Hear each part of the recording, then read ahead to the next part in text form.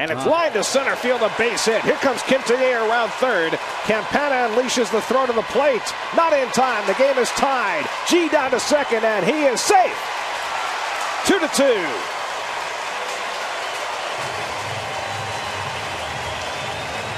Dillon Gee drives in his third run of the year and gets himself back even. Well, try to get, a get me over fastball to get ahead of the pitcher, and nice short stroke.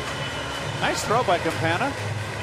And then Nieves double clutched on his throw to second. Now you notice why Gee Gee's out, dead to rights going to second, and you want with two outs here to draw the cutoff throw. If you get if they draw the cutoff throw, the run scores. It's a, could be a close play at the plate, and you're out at second. You got top of the order next inning. And if he'd been running a little harder, he's just probably happy he got a big hit.